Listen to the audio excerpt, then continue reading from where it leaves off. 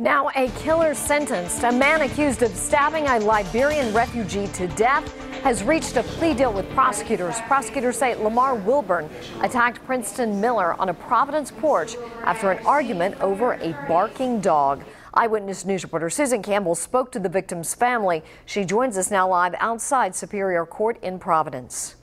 Susan, it was an emotional day in court, but Princeton Miller's family tells me they're thankful justice has been served. A mother in tears as she listens to her son's killer apologize for his crime. I hope that I may one day be forgiven by him.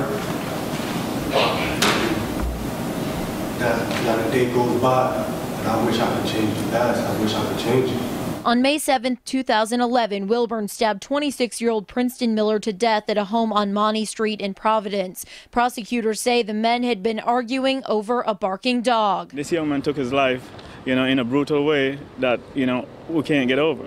On Monday, Wilburn pleaded no contest to second degree murder. As part of his plea agreement, the judge sentenced Wilburn to 60 years at the ACI with 35 years to serve. At least he realized that it was wrong that you should not take another man's life mm-hmm. for nothing, for dog, for, for dog. a dog. So somehow I have forgiven him because I'm a Christian, but God will, will take control. Earlier this year, Lemar Wilburn rejected a plea agreement that would have meant less time in prison for him. Reporting live in Providence with the Mobile Newsroom, Susan Campbell, Eyewitness News.